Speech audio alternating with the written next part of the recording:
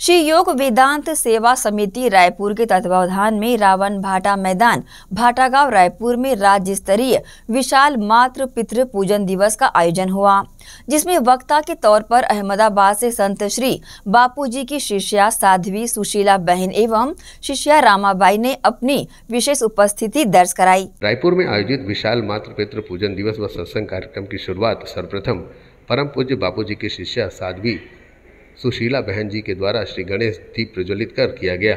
तत्पश्चात सत्संग के माध्यम से बहन जी ने बताया कि जो बच्चे माता पिता और गुरुजनों का आदर सम्मान करते हैं, उनके जीवन में सफलता अवश्य आती है।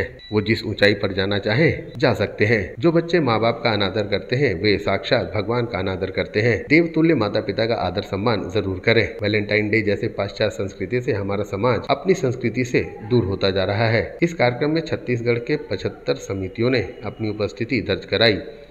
हज़ारों की संख्या में साधक भाई बहनों ने कार्यक्रम को सफल बनाने में अपना बहुमूल्य योगदान दिया।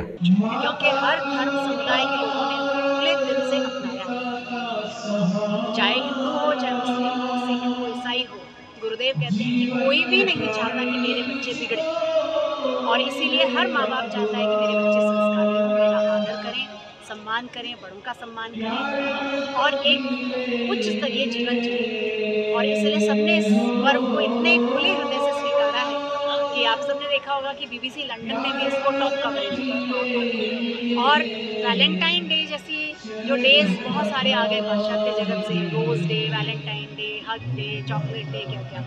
तो ये सब डेज़ ने हमारी जो बाल पीढ़ी और युवा पीढ़ी है उसको गलत दिशा की तरफ़ क्योंकि अगर हम लोग अपना बचपन याद करें तो हम लोग कॉलेज तक भी आ गए थे जो बातें हमें बिल्कुल नहीं पता थी आज तीसरी चौथी पाँचवीं के बच्चे जो हैं वो गलत गलत बातें सीख रहे हैं। और उसके लिए मैं उन बच्चों को दोषी नहीं ठहरा दोषी हैं तो आप और हम लोग हैं।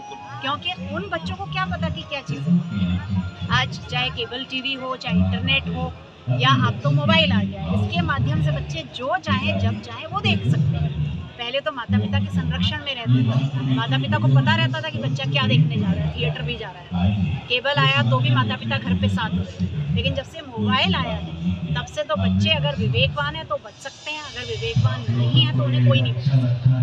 तो अब तो माता पिता और शिक्षकों की और भी ज़्यादा ज़िम्मेदारी बढ़ गई है कि बच्चों को ऐसे संस्कार दे कि वो खुद विवेकवान और जैसा गुरुदेव कहते हैं कि उनका हृदय इतना व्यथित हुआ ये देख करके कि हमारी बाल पीढ़ी युवा पीढ़ी कहाँ जा रही है? क्योंकि यही तो देश का भविष्य है। और बापूजी तो भारत को विश्वगुरु पद पर आसीन करने की बात करते हैं। और विश्वगुरु पहले था भी भारत। और अगर हम कोरोना के समय को देखें तो आज भी विश्वगुरु है। और आने वाले समय में तो विश्वगुरु बनकर ही रहेगा क्योंकि कोरोना आया तो हम सबने देख लिया कि जहाँ लोग बड़ी बड़ी बातें करते थे, हाय, बाय, हाय, हेलो, सब छूट गया। दूर से नमस्कार करने लगे, चाहे वो राष्ट्रपति हो, चाहे प्रधानमंत्री हो, चाहे नेता कार्यक्रम में युवा सेवा संघ भिलाई दुर्ग एवं श्री योग वेदांत सेवा समिति भिलाई दुर्ग की विशेष भूमिका रही। ग्रैंड एशियन न्यूज़ के लिए रायपुर से संतोष शर्मा की रिपोर्ट।